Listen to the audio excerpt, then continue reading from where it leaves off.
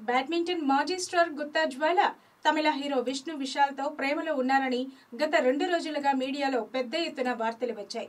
ఇక కొత్త ఏడాదికి స్వాగతం పలుకుతూ విష్ణు తనను ముద్దాడుతున్న ఫోటోను జ్వాల బుధవారం ట్విట్టర్లో పోస్టు చేయడంతో ఈ వార్తలకు మరింత బలం చేకూరున్నట్లయింది అయితే తాజాగా ఈ వ్యవహారంపై గుత్తా మాట్లాడుతూ కాసింత క్లారిటీ ఇచ్చుకున్నారు.